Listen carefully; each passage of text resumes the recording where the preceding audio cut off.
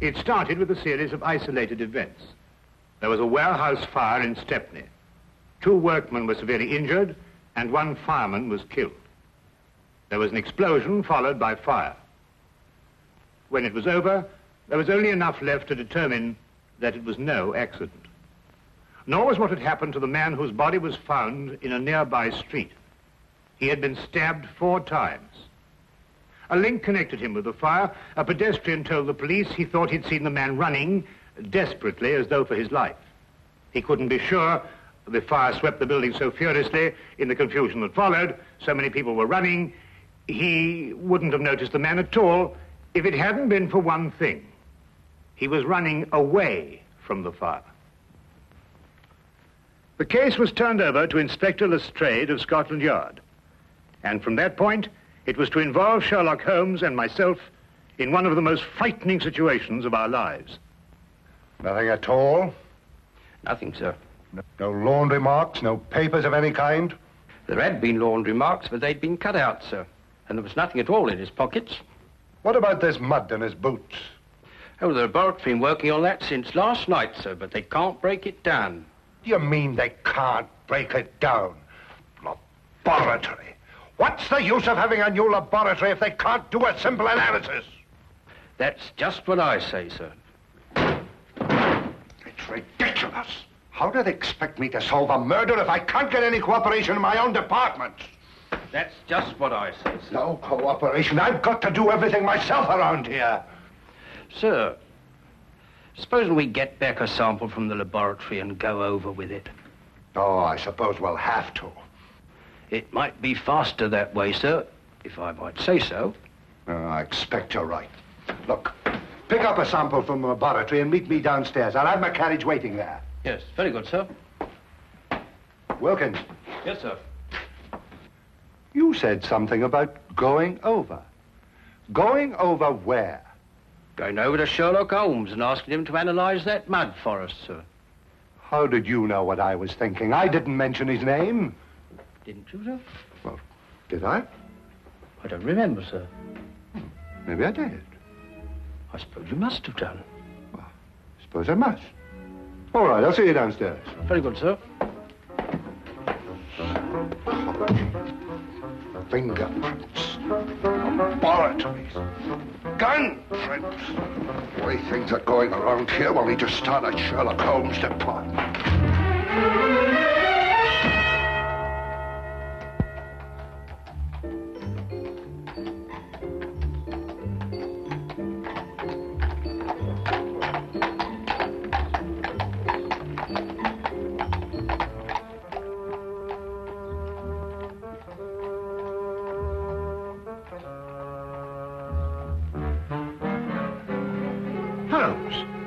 You doing? That's invasion of privacy. Peeping Tom, disgraceful. Invasion of whose privacy? Well, I don't know, whoever you're spying on. Well, I'm spying on my own privacy. Now, what does that mean? I was looking into a room across the street. Well, I know I saw you. Well, it so happens that I've rented that room this morning for a week. Well, you think you're moving out? Well, I plan taking my telescope over there and spying on this room here. Now, now, put yourself together, Holmes. Oh, no, no, no, there's a reason. Well, what is the reason? I'm expecting a thief. Oh, really? Have you given him an appointment? Now, you may not believe what I'm saying, Watson, but I'm being perfectly serious. When do you expect this thief and why? I'll explain the entire situation to you across the street. Oh, well, we're spying on ourselves over here, over there. Yes, well, something like that. Yeah, well, I'm, I'm glad because I thought for a moment I was getting confused. Ah, good, good. We can see perfectly from here. I hesitate to bring this up, Holmes, but I can't see how we can see ourselves from here over there, even with the aid of a telescope. Well, that's uh, not an unreasonable deduction, Watson. But perhaps my methods would not appear so obscure to you if I told you that I've received a communication threatening my life if I accepted a certain case or used evidence that's been given to me. Well, what case? What evidence? Well, that's just the curious part of it, Watson. I have neither been presented with a case nor have I got any evidence. But somebody thinks you have. Obviously. This thief you expect, what's he going to steal? The evidence, of course. The evidence you haven't got. Now you have it. Well, now, look, really, Holmes. Uh, since this thief you expect can't steal the evidence you haven't got, that's right, isn't it? Yes, yes, that's right. Well, then why do you want to watch him? Well, so we can follow him when he leaves and find out why the man who was going to get in touch with me didn't get in touch with me. Ah, couldn't be simpler. Ah, The thief? no, no, no. Our old friend, the good inspector. I wonder what he wants to see us about. Perhaps he'll leave us a note. I could run across and tell him we're here. No, no, no, don't do that. He'd want to arrest our thief, and we wouldn't be able to follow him.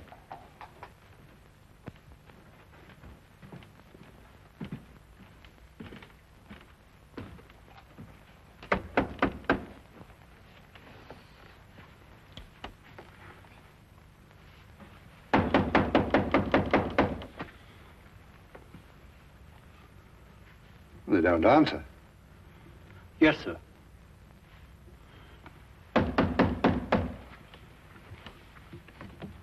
Perhaps they... Open. Yes, sir.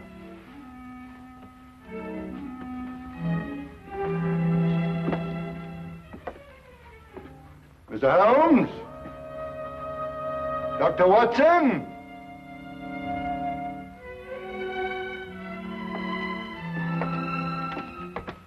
Mr. Holmes? Dr. Watson! Not here. Yes, sir. Mr. Holmes?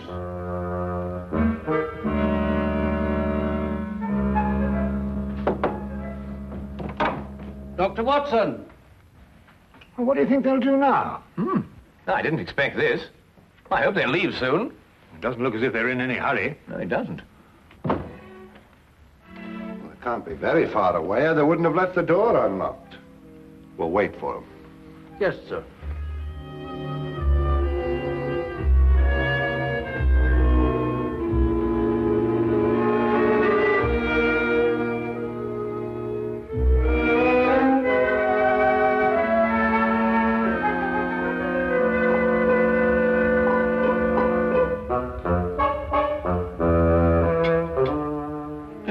About chemistry, sir?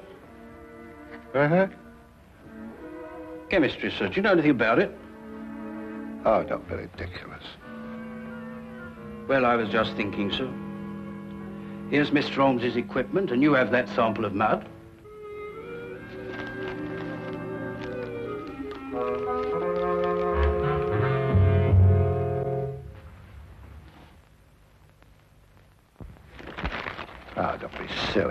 I don't know anything about chemistry. And here's Mr. Holmes's books, too. Suppose we were to do it ourselves, sir, and show them the resourcefulness of Scotland Yard, as it were. Now, Wilkins, that might be a very good idea.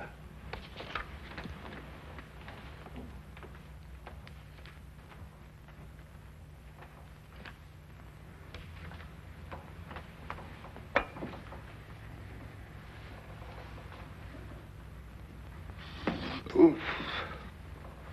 No. No, it wouldn't work. You can't do a thing like analysis just reading a book, you know. I suppose you're right, sir. I thought perhaps it might be like following a cookery book. You remember I helped Mr. Holmes when you were dealing with that Lady Beryl case, and it didn't seem too difficult. Just so. Just like following a cookery book. Yes, sir. You know, I can do a bit of cooking. Once made a Yorkshire pudding. Those two idiots will blow up the flat if we don't get over there. Well, you know, strangely enough, Watson, they're not doing too badly. They're actually analyzing something and following the procedure from the book.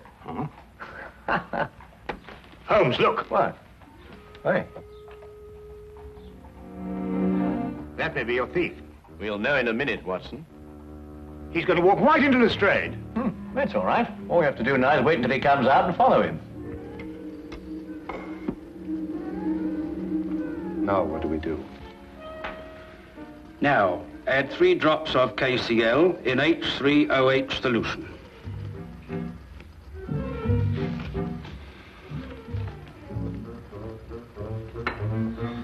Here we are, sir. Three drops, you said? That's right, sir. Careful, sir. I am being careful. I'm being very careful. Don't make me nervous. Well, sir, if you slip up now, you've got to start all over again. Quiet. Careful, sir. Quiet! Quiet! It was the door that time, sir. Well, say, come in or something. Can't you see I'm busy? Very well, sir. Come in. Come in.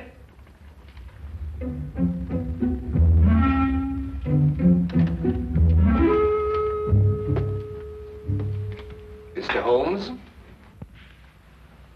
I'd like to speak to you. I believe you were expecting me. Huh? I won't waste your time or mine, Mr. Holmes.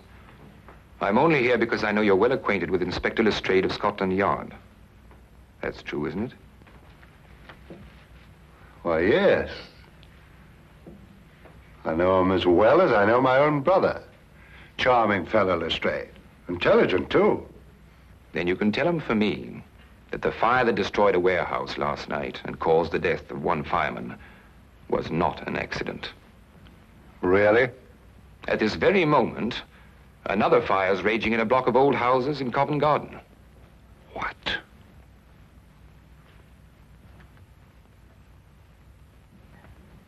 And unless the Crown is willing to pay 50,000 pounds into a foreign bank, which I shall designate, those fires will go on occurring. No one is going to stop me. I don't think that's quite right. Don't, Mr. Holmes. You have the reputation for being a clever man.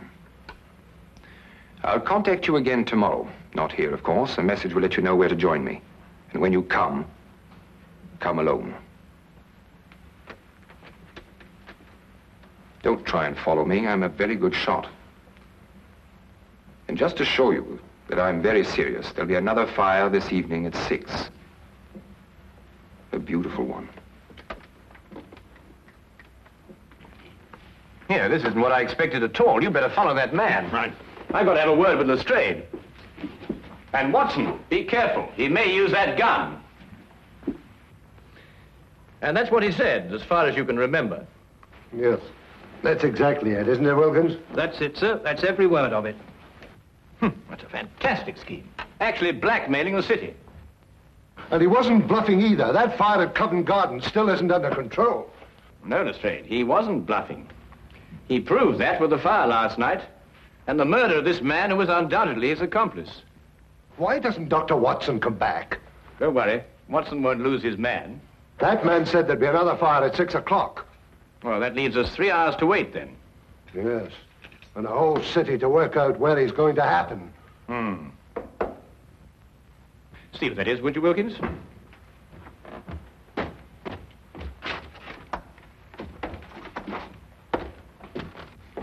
Inspector Lestrade, Yes? I have a message for you from a Dr. John Watson. Yes, what is it? He said to tell you that he followed the man to 43 Chester Street in Bayswater. And?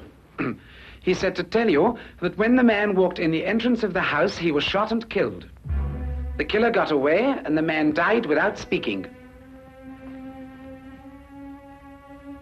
Somewhere in London, he's planted a bomb that'll go off in three hours.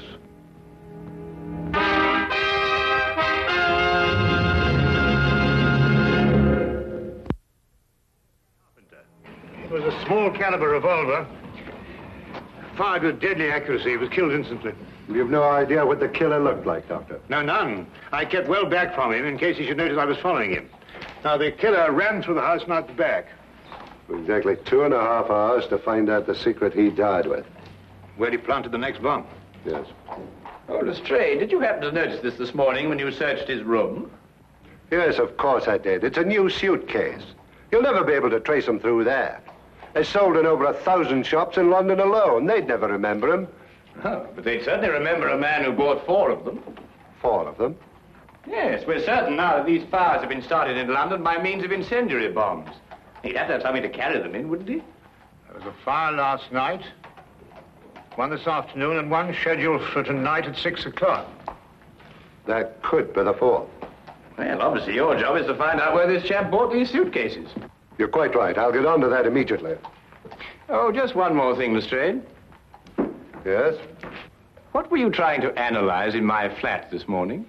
Some mud from the boots of the man who was murdered yesterday. Perhaps he's got mud in his boots, too. He has. I've already taken a sample, and I've got another one like this in the flat.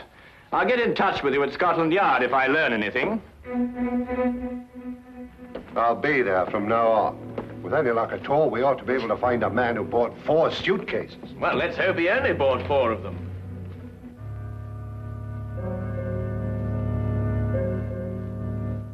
We returned immediately to Baker Street and together worked feverishly to break down and analyze the traces of mud that had been found on the shoes of both murdered men. We were able to ascertain quickly that both samples were from the same source. We knew at least that we were on the right track, but where this track would lead, we had no idea.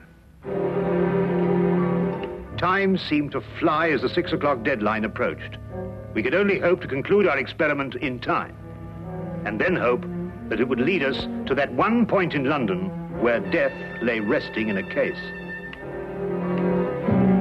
Inspector Lestrade, at his end, had placed the entire resources of Scotland Yard on this one assignment. The city was divided into sections according to a standing emergency plan. A large map on his office wall was divided into individual zones, with a squad of men assigned to each zone. The men in these squads were detailed to inspect every shop in their area and report their findings. As quickly as the reports came in, the sections were marked off and the men shifted and reassigned. Every square foot of London was being covered. If only there was time.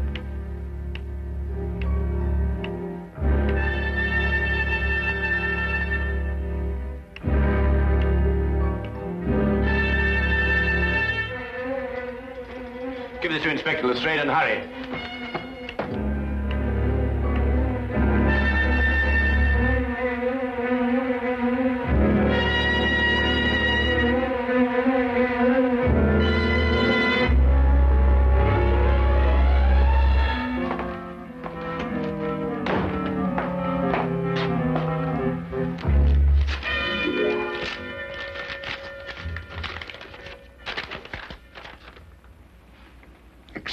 Nitrate. What does it mean? I believe it's a basic ingredient of dynamite, sir.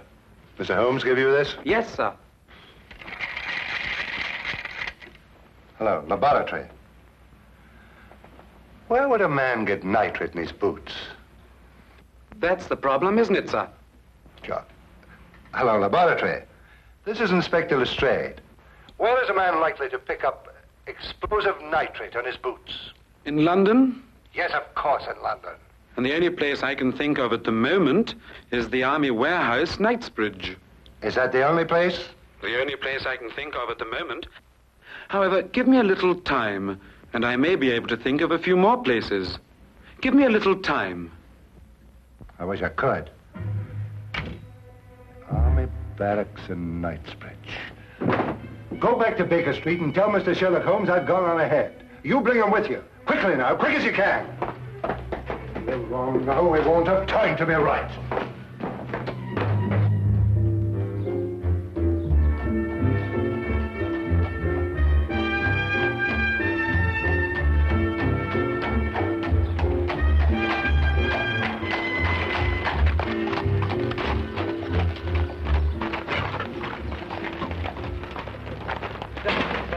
I'm Inspector Lestrade of Scotland Yard. I've got you. The inspector wants you to come to the Army barracks at Knightsbridge. Army barracks. Holmes, that's it. It could be, and we have no time to explore any further possibilities. Come on. I have a carriage waiting downstairs. Good. Have you noticed anything suspicious around here? No, Inspector, I haven't. Does everyone coming into this area have to pass a guard like yourself? Yes, sir, that's orders. What about deliveries? They're all examined, sir. You have civilian workmen here. Did any of them bring in a suitcase? No, sir. We may be wrong. Oh, excuse me, sir. We've carpenters working here, and they bring in their tool chests. That's about the size of a suitcase, isn't it? Where are they? In that shed, they ought to be just finishing up. Come on.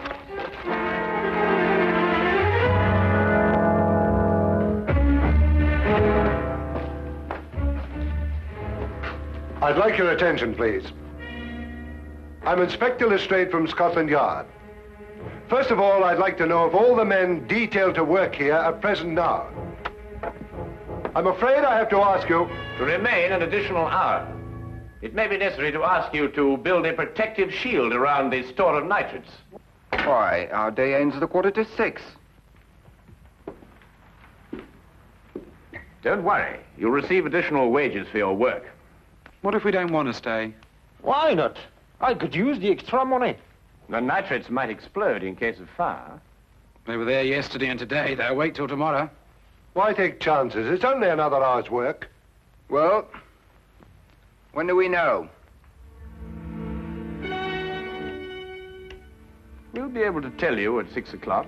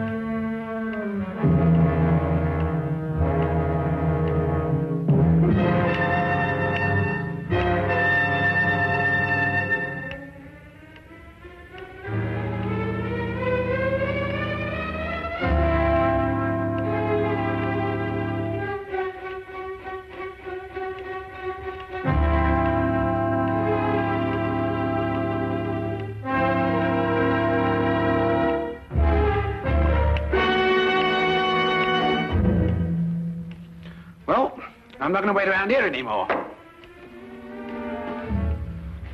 You stay where you are. If they want my job, they can have it. Why should you be in such a hurry? There's only a minute to go.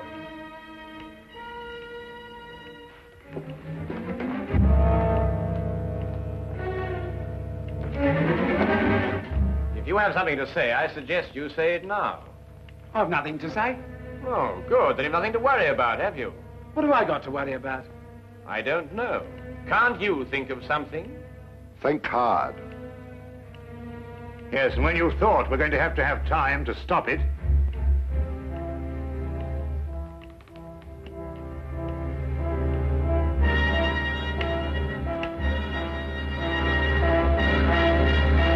Outside that wall behind the pile of wood. Quick!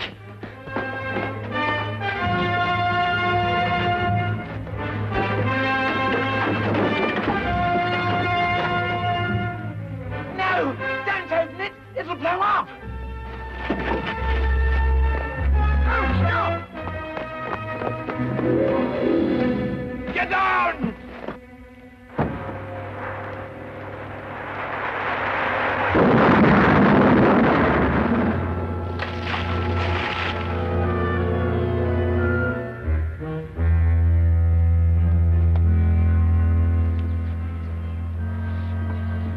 Watson.